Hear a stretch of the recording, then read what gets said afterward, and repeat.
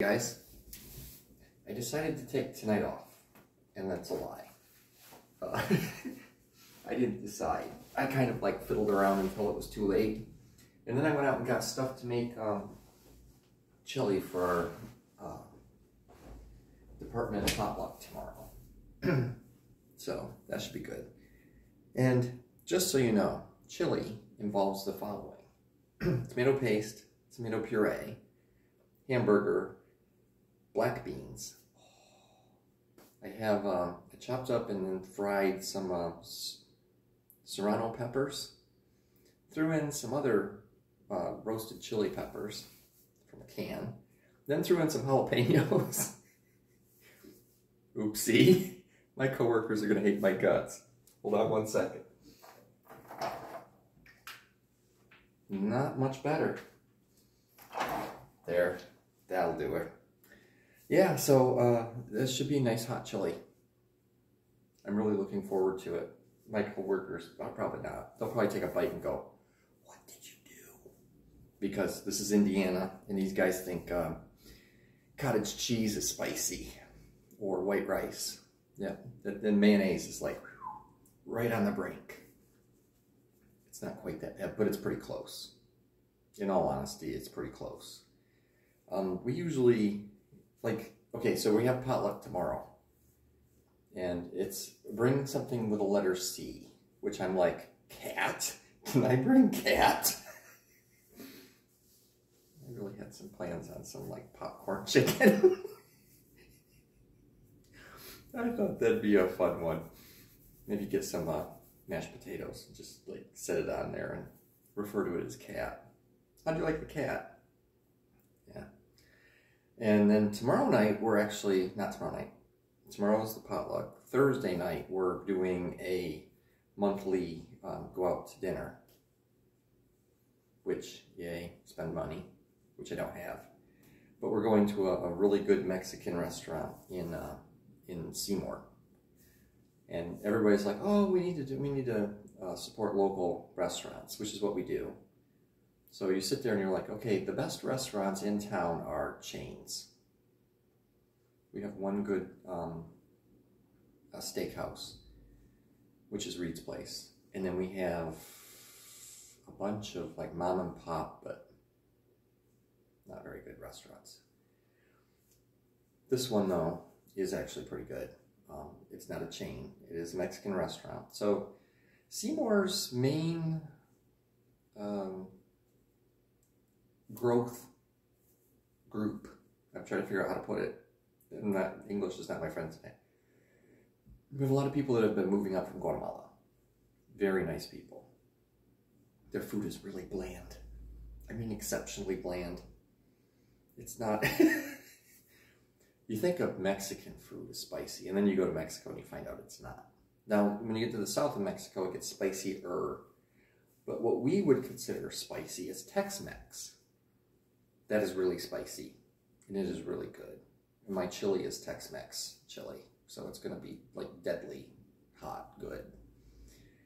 And yeah, so when you go to most of our restaurants and you say, "Ooh, what do you have that's picante?" They look at you and they go, "Oh, well, we have a little bit of Tabasco sauce you can put on it." It's like, dude, that's not spicy.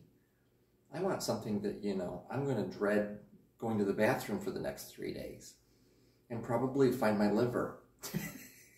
I lose weight. Holy crap. That's what I need to do. New plan, new weight loss technique. We're going to eat spicy food until I lose my liver. Okay. So, anyway, you know, that, so we're going to go to this Mexican restaurant. So that's going to be, and they're actually, the food's actually really good. So I'm, I'm excited. Um, there's another Mexican restaurant place in town called um, blue tequila. Azul tequila, I'm sorry, Azul tequila, which is blue tequila. That place is really good. Um, they have mole, and I love me some mole. So that'll be, we'll have to see if we can get everybody to go there because it is a chain. But it's a good one. Um, yeah, so that that's what's going to happen over the next couple days.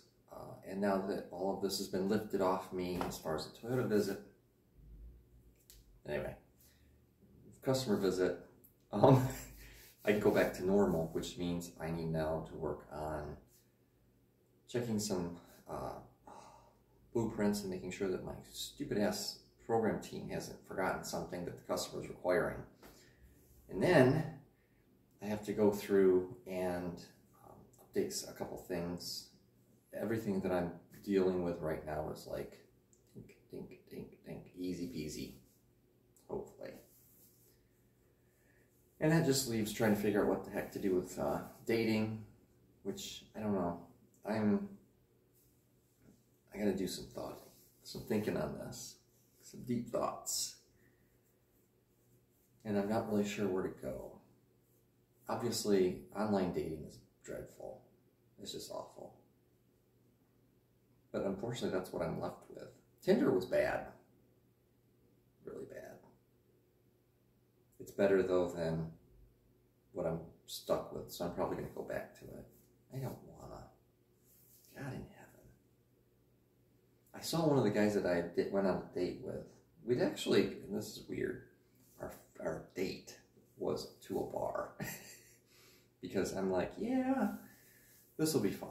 And we go to the bar, um, up Greg's up in Indy. And we talked, and it was actually really cool.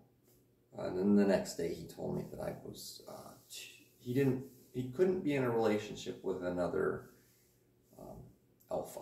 And I sat there and I'm like, I'm not an alpha. I'm what they call a sigma, which means I don't like being in charge of other people. I can lead, but I don't like to be in charge. And I don't have a group of people that follow me around. Alphas like packs. Mm, I'm not a pack person. I have my person, and then outside of that, I don't really care. I don't need people to follow me around.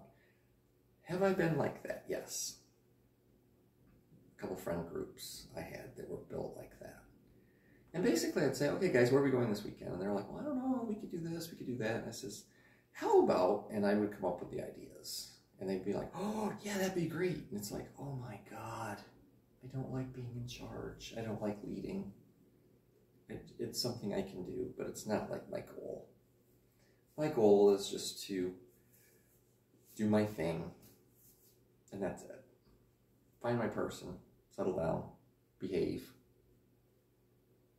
buy a house, get a dog, or two. That's it. That's all I really want. I'm not very, I'm not greedy. I don't require a lot. So, yeah. Life is simple. And I like it simple. Can it be complicated? Yep. Do I like it complicated? Sometimes. I'm listening to my sister talk. I don't know what I'm going to call this episode, by the way. it really is. I'm just like just veering off in all directions. Was talking to my sister, and she is in Toronto, and she's on. She's actually spending the weekend, uh, part of the week and the weekend, with this guy that she's dating dating. And he has a lot of money. He's from Europe. He has a big, big ass house out west. And she is sitting there going, uh, their hotel room costs $1,500 a night. She's like, we went out to dinner with him and his friends. And they're speaking many different languages because they all speak many different languages. And she goes, and when they ordered, they didn't order, you didn't order your own. The, the person that was in charge, it said, This is the restaurant I want to go to, let's go there. Ordered for everyone. And she ordered enough food so that everybody's just taking what they wanted and they could try all of it. And I'm like, yeah, that's how the Japanese business people do it.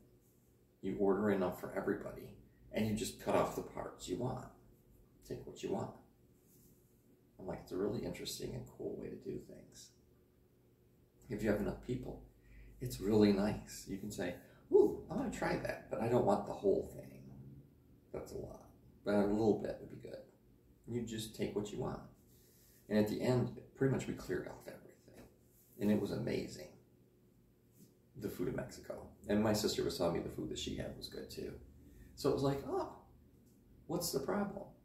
Well, I just felt so out of place. And I'm like, why? Now,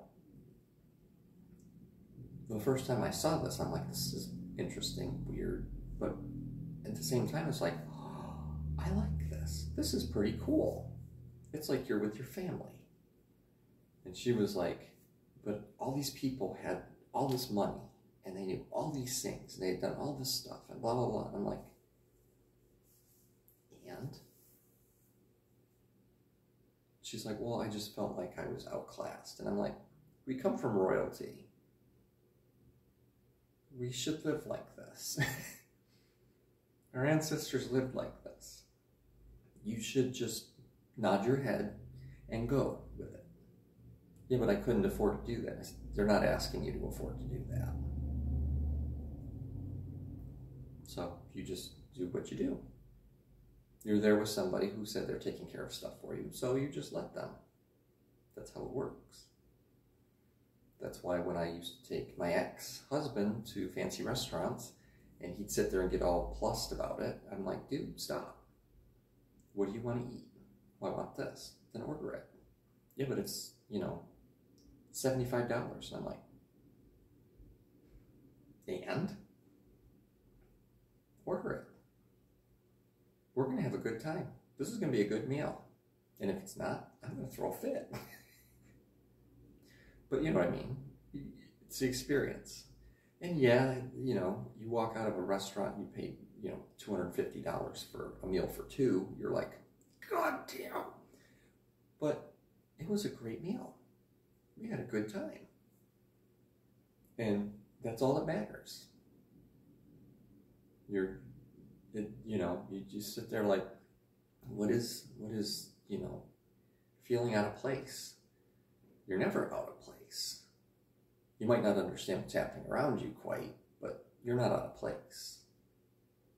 There is no place that I can stand where I am not where I need to be and doing what I need to do. I need to remember that. I got to hold that one real close. Somewhere out there's a guy that's saying, I don't know if I could afford, I would, if I, bleh, if I would want to pay more than 10 bucks for a meal. And it's like, oh, I know places we can go. And you will walk out going, I have never had such good food in my life. And you don't even have to spend a lot of money to go to places like that. Sometimes it's fun to go to places that are expensive just to see what it's like. Like going to a um, uh, Brazilian steakhouse or a Brazilian, yeah, Brazilian steakhouse where they like carve the meat off for you. And you're like, wow, this is really weird. And you eat, eat, eat, eat, and then you're finally like, oh my God, I'm full. And that was such fun. Okay, guys. Um, like I said, I have no idea what I'm going to call this. I love you guys. I love you, dude. Somewhere out there is a guy that's looking for me. And I'm here.